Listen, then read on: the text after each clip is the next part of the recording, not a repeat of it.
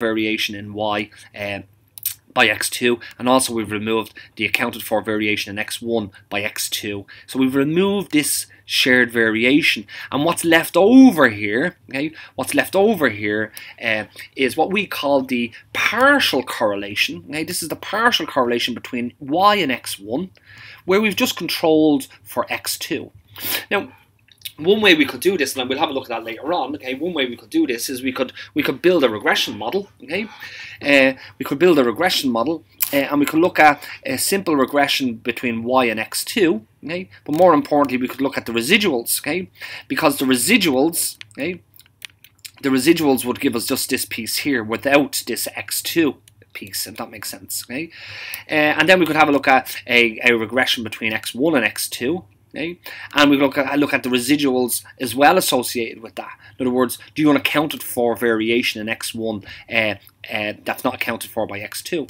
And then we can correlate. So so this section here, this y section, is effectively the residual. Okay, the residual from the current from the regression of y with x2. Okay, because this is what this this area here is what x2 cannot explain, if that makes sense. And similarly, this red area here, okay, is the residual. It's it's what x2 cannot explain with respect to x1 when we regress when when when when when we regress these two variables. If that makes sense. And effectively, what we have now is we have a set of residuals here, a set of residuals here, and what we do is we correlate them together, and this is called the partial correlation between y and x1 okay, controlling for x2. In other words, above and beyond the influence that x2 has on y, and also above and beyond the influence that x2 has on x1. Okay? Now we could say to ourselves, okay, well, I know now that x. I also know that x1 is related to y and x1 is related to uh, x2. But what is the correlation between x2, x2 and y, if we eliminate the association of x1? Okay, and this is another partial correlation. Okay? So what once once we've what we've also done here is we've removed the influencing the influence of x1 on y and we've also removed the influence of x1 on x2 okay and what's left over this y piece here okay, and this x2 piece here is what's correlated together and this is called the partial correlation between y and x2 controlling for the effect of x1 if that makes sense okay? Once again, if we want to do that, the best way to do that is, okay, well this blue area here, okay, this blue area here, uh, we could regress y on x1 and look for the residuals, okay? That would be this blue area, okay? Uh, and also we could regress, we could regress x2 and x1, okay? And look at its residuals, and that would be the green area around here, okay? So now we have two sets of residuals, and what we do is we correlate them two together, which gives us the partial correlation between y and x2 controlling for x1, okay? So, so, at this stage, we've got two types of correlations. We've got a simple uh, a simple correlation or a zero order correlation where we look at the effect of one variable on another variable okay uh, or the interaction, the strength of association between two variables, irrespective of any other variable. Then we have a partial correlation where we take another variable into consideration, okay, and we remove its influencing its influence uh, from both of the variables that I want to correlate. Okay, so for example, in this case, I'm removing the influence of x1 from y, and I'm also removing the influence of x1 from x2, and what's left over is what's correlated. Okay?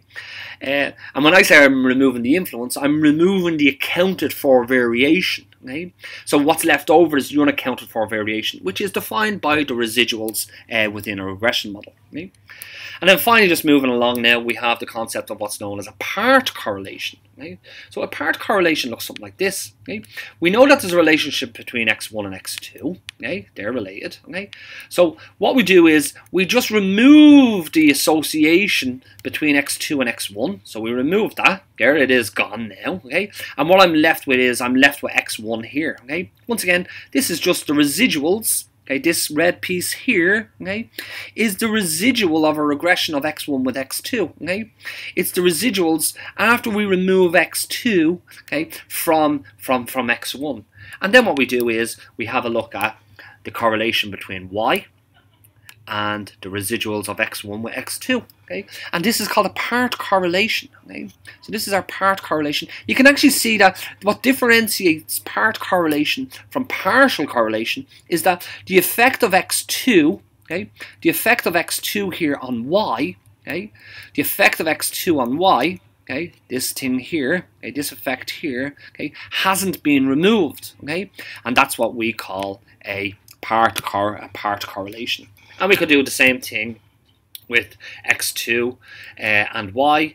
We could remove we could remove the effect of x2 we could remove the effect of x1 from x2, okay, which leaves us with this here, and then we could correlate between y and x2, which gives us the part correlation between y and x2.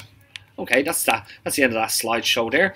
Uh, maybe what I'll do here is I will just have a look. Um, I have an SPSS file, okay, uh, where we could actually have a look at this. Actually, maybe what I'll do is I'll do that in the next video, yeah, which is having a look at how to generate the residuals, how to do the correlations the part correlations and the partial correlations and the zero order correlations uh, through SPSS. I'll have a look at that in my next video. Okay. Uh, well, guys, once again, this was Jonathan Lambert with the Mathematics Development and Support Service at the National College of Ireland. Uh, and I hope that this video was intuitive, and more importantly, I hope that was helpful for you. Thank you for watching.